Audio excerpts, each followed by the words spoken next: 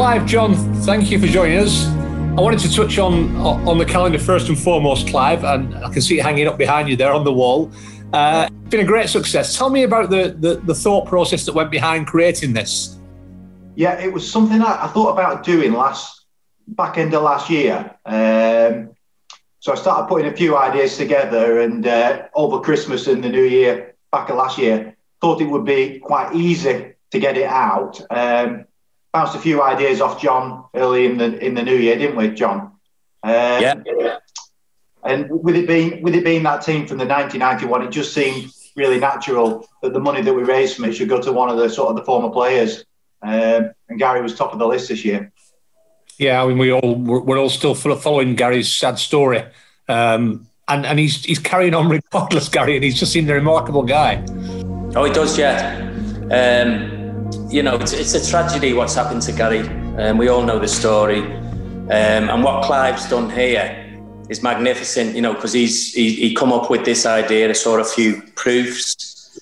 Um, I thought, yeah, it's a great idea. He's financed it himself, made no money. Everything's going to Parky. I think the first um, set he sold out within, you know, weeks, and now he's on to the second one. Um, and the calendar, it is it is really good calendar. And we were happy to jump on board as a club, John, because it, uh, of the of the reasoning behind it, and it doesn't really clash with anything in terms of what the club does. But it's a great cause. That's the first and foremost thing. And of course, the, the iconic picture, Clive will have it there. The John Deary one, he's in there himself, jumping two tackles. I always remember John as as a really sort of hard tackling, no nonsense. And every time he got, every sort of time he, he moved forward, you always knew he was going to shoot or get stuck in. He was one of the players that you knew that when he got the ball, you were always going to get a great picture. There was always a chance with him. Something unexpected could happen. So, yeah. We look back at that side. I mean, some of the players. I mean, we were we were one arguably one of our lowest ebbs at that point in the fourth division. But some of those players still trip off the tongue today to generations of Burnley fans. You know, the likes of yourself, Chris Pearce, Roger Eli, John Francis. these are these are iconic names. Roger Eli's obviously become a cult hero at Burnley for, for, for not many appearances in, in total. It's, it's been a side that people have, have still embraced down the years. Yeah, because it, it, it's a long time ago. Um, but I think at the time, when I first come to the football club, it was rebuilding the side. Um, and, you know, it, it, did need improvement. And then gradually it got better. Um, and then that season we did go up most of the fans who attended the matches that time had a good time. You know, we, we did play sort of attacking football. Obviously, you know, we were winning most matches, so it was it was a good season for everyone. Each time I delivered them, people could name nearly all the team. It was never mm. this team isn't just about. I know that we've got the sort of the cult heroes, but they would name nearly all the team straight away, and there's a connection with the whole, the collective, the whole group, and the manager. And and I think that was what was really sort of special about that team. Even though promotion wasn't gained that season, uh, the team is held in a, sort of a very special uh, part of the Burnley fans' hearts because it was the collective, the whole group. And Clive, the calendar's been a success already. I know you still at the first batch. Yeah, yeah. Batch now, fans can still get hold of this, can't they?